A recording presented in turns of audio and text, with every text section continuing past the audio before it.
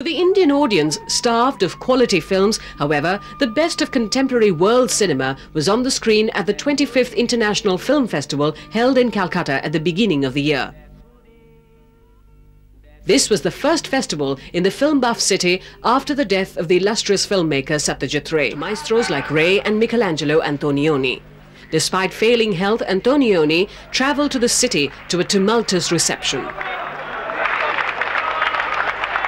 The festival closed with Ismail Merchant's directorial debut, In Custody. Sensitivity and mood permeates the film embellished with haunting ghazals.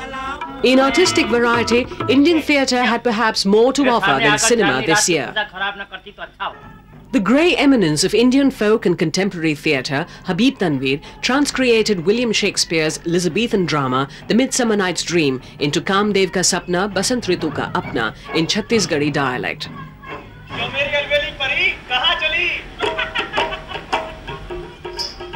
Theatre aficionados also saw the legendary Indian playwright Ibrahim Alkazi's two new plays, Chekhov's Three Sisters and Peter Shaffer's The Royal Hunt of the Sun, performed by students of his own newly set up drama school, the Living Theatre Group.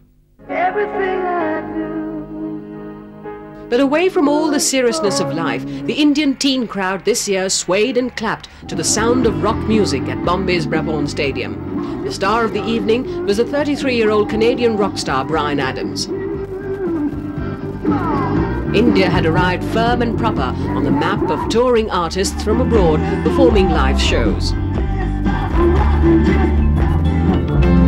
But bigger Indian achievements on the world scene were still in store.